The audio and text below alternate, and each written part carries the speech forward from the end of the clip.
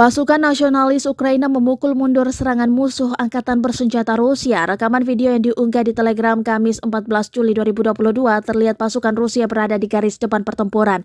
Pasukan nasionalis Ukraina tak mau kalah, masing-masing juga berada di garis depan pertempuran.